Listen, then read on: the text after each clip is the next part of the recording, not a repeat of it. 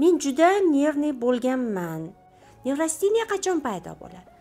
Insonni hayotida o'ziga yoqmagan e, bo'ldi. Menga sog'ligim kerak. Men bundan og'ir holatlarga tushmayman degan oldingizga maqsad qo'yasiz. E, assalomu alaykum. Yaxshimisiz? Turmush o'rtog'im ikkilanuvchan. E, nima qilishim kerak?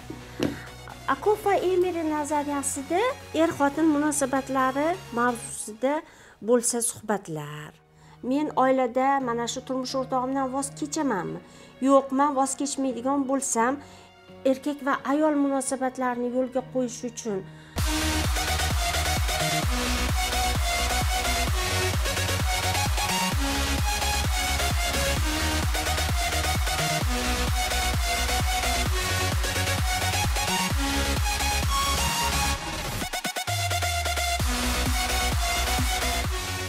assalomu alaykum hurmatli aziz do'stlarim. Sizlarga savollaring bormi?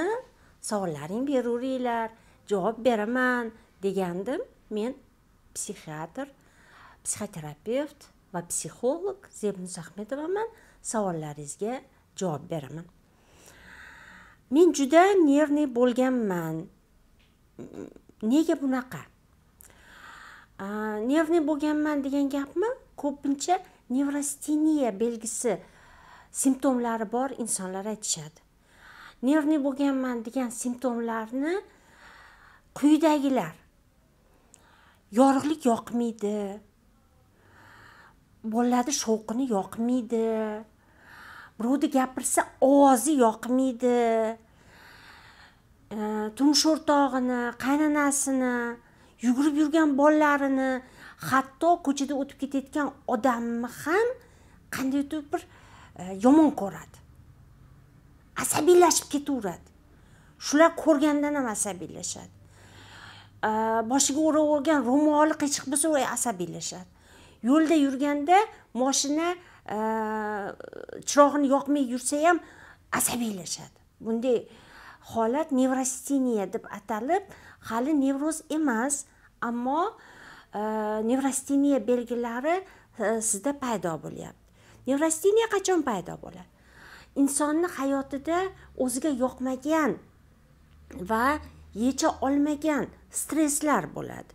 Ya'ni bir inson o'qishga kirmoqchi bo'ldi o'qishga kirmadi ketma ket farzandli bo'ldi farzandlari e, kechasi uxlamadi e, ko'p kasal bo'ldi va bu ayol endi farzandlariga o'ralashib qolib uni ustiga e, turmush o'rtog'ini qattiq achchiq gaplari yoqmasdan e, nega men orzuyimga yetmadim degan gapni tilida emas e, ong ostida ayta boshlaydi. Va u endi e, bir qiynalib e, hozirgi hayoti bilan yaxshi hayotini orasidagi e, bir farqni yaxshi bo'lishi uchun imkon topolmaganlikni his qilib nevrosteniya holatiga tushadi.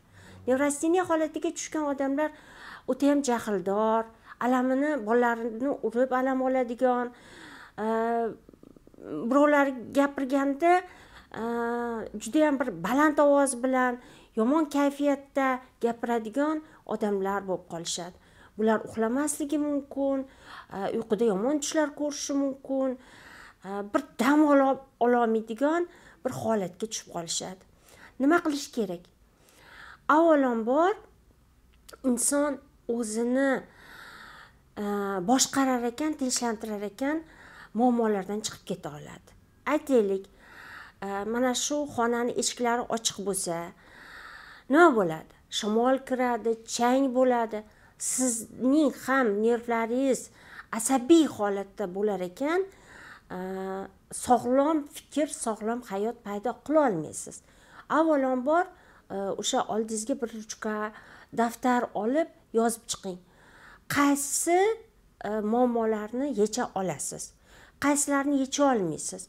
Yecholmagan muammolaringizga qarab o'sha o'zizni munosabatingizni o'zgartiring. Ya'ni kimdir sizga qattiq gapiryapti ovozini baland qilib gapiryapti. U insonni baqiriq chaqiriqlariga e, dan uzoqlashishni e, bir ichingizda bir pulk paydo qilib pulk bilan mundoq qilib xuddi haligi baland ovozda past eshitgandek e, o'zingizga boshqaruv e'lon qilishingizni taklif qilaman. Nevrosteniya holatidan chiqib ketar ekansiz Э, undan keyingi э, og'irroq bosqich nevroz bosqichiga depressiya bosqichiga o'tishni e, o'zingizga e, taqiq qo'yasiz. Ya'ni e, bo'ldi menga sog'ligim kerak men bundan og'ir holatlarga tushmayman degan oldingizga maqsad qo'yasiz. Nega bunaqa degan savolingizga javob berdim. Hayotingizdagi muammoli vaziyatlarni yecholmaganingizdan bir organizmni himoya mexanizmi sifatida o'zingni bos o'zingni bos degan holat bu aslida keyingi savol assalomu alaykum opajon ishlaringizga omad dori ukolsiz nevrozdan chiqsa kelajakda asoratlari qolmaydimi javobingiz uchun rahmat agar siz o'zingizni boshqarishni o'rganib xavotirlantiruvchi depressiyaga tushiruvchi va qo'rqituvchi fikrlardan o'z holatingiz bilan chiqa olgan bo'lsangiz demak siz o'zingizni boshqarish darajasiga yetibsiz va nevroz endi sizni boshqa bezovta ham qilmaydi asorati ham qolmaydi va mabodo shunaqa xayollar kelib qolsa ular bilan qanday qilib e, munosabat qilishni yomon xayollarni qanday qilib e, yo'qotishni va ularga e'tibor bermaslikni bilasiz. Shuning uchun qo'rqmang e, tabriklashim mumkin siz chiqib ketibsiz va boshqa bu holat takrorlanmaydi. Inshaalloh. Assalomu alaykum yaxshimisiz turmush o'rtog'im ikkilanuvchan э, nima qilishim kerak? Akov va emeri nazariyasi bo'yicha odamlar ikki xil bo'lishadi. Aktiv odamlar va passiv odamlar aktiv odamlarni mana qavs ichiga yozib qo'yamiz.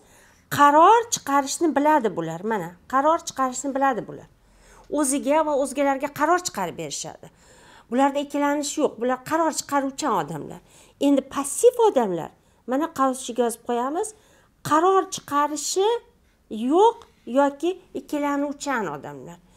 Endi mana shu odamlar bir biriga aylanib qola oladimi degan savolga javob yo'q. Hech qachon qaror chiqaruvchi odam passiv bo'lib qolmaydi faqat holatga kiradi.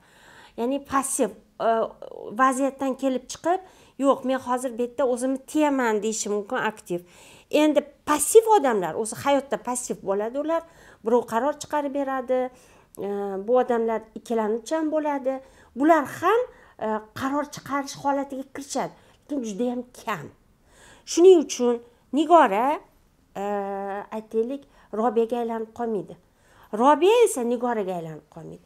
Ya'ni qaror chiqarishni biladigan inson hayotda o'z fikrini o'z qarorini ayta oladi va boshqalarni bu qarorlariga e, ishontirib e, e, to'g'ri va noto'g'rilik haqida fikr yurita oladi. Endi passiv odamlar esa ular kimlarnidir qaroridan kelib chiqib mulohaza qilishni yaxshi ko'rishadi. Ular shunaqa xarakterga shunaqa e, bir ichki dunyoga ega insonlar.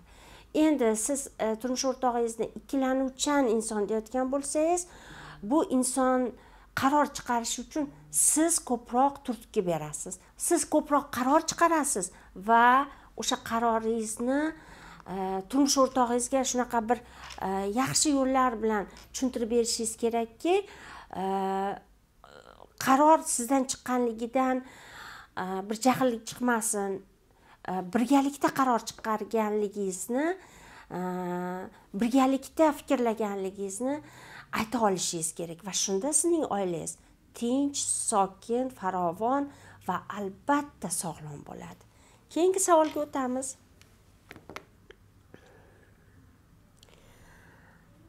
Assalomu alaykum opa o'zgarib ketibsiz. Rahmat.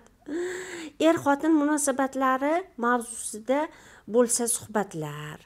Er xotin munosabatlari haqida alohida seriyali bir e, to'plam e, erkak va ayol er va xotin e, munosabatlarini kommunikatsiyasini yoritib beradigan bir e, seriyali to'plamlar yozishga uchun tayyorlanyapman. Va albatta e, sizga bu yoqimli bo'ladi. Bugun er va xotin munosabati to'g'risidagi bitta e, mashg'ulotni bitta sizlarga kerak bo'ladigan bir qoidani mavzuni aytib bermoqchiman. Har doim psixologlar muammodan muammodan yechim tarafga yurishar edi. Hozirgi eng zamonaviy psixologiya aytmoqdaki yechim holatidan bu tarafga ya'ni siz turgan muammoli vaziyatga yurish to'g'riroq. Ya'ni siz uchun hayotda turmush o'rtog'ingiz va o'zingizga nimalar kerak? Shu mana shu tinchlik holatini paydo qilish uchun sizga e, qanaqa gaplarni gapirishingiz muhim? Э, qanaqa o'zingizni tutishingiz muhim. Qanday qilsangiz mana shu sizga yoqimli holat e, foyda beradi. Nima uchun muammoli holatdan bu tarafga yurish noto'g'ri? Sababiki muammoli holatda siz e, asabiy xafa bo'lgan alam olishni xohlagan e, miyangiz charchagan va yomon ko'rgan odamsiz mana shu muammoli holatda. Va e, turmush o'rtog'im o'zgarsin dunyo o'zgarsin deysiz. Agar yechimni oldingizga qo'yib men e, mana shu nikohimdan voz kechamanmi? Men oilada mana shu turmush o'rtog'imdan voz kechamanmi? Yo'q man voz kechmaydigan bo'lsam yechim haqida o'ylayman. Ya'ni oxirgi oqibat qanday bo'lishi kerak deb o'ylayman va undan bu tarafga yuraman degan fikrlash tizimiga ega bo'lsangizgina sizga yashash oson bo'ladi. Demak e, yechim uchun xafa bo'lmaslik yechim uchun e, o'zingizni e, boshqacharoq tutish yechim uchun siz avvalo o'zgarishingiz kerakligini tushunib qolasiz. Hurmatli aziz suhbatdoshim menga bergan savollarni ichida eng dolzarbi mana shu vahima qo'rquv xavotir ekanligini va um, sizga e, oila munosabatlari ham bir to'plam sifatida e, seriyali e, audio video darslar qilish kerakligini tushundim.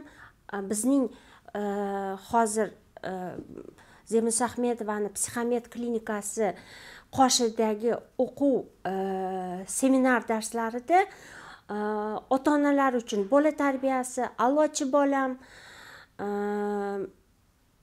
erkak va ayol munosabatlarini yo'lga qo'yish uchun e, kommunikatsiyalar psixologlar uchun amaliy psixologiya darslari e, umuman olganda kasb tanlash o'smirlar uchun hamda o'smirlarni tarbiyalashdagi muammolarni yechimi uchun o'smirlar psixologiyasi kabi o'ndan ortiq kurslarimiz bor.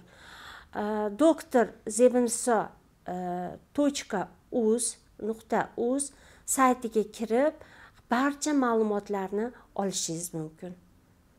Menga savol bering va albatta imkon boricha video shaklda javob berishga harakat qilaman.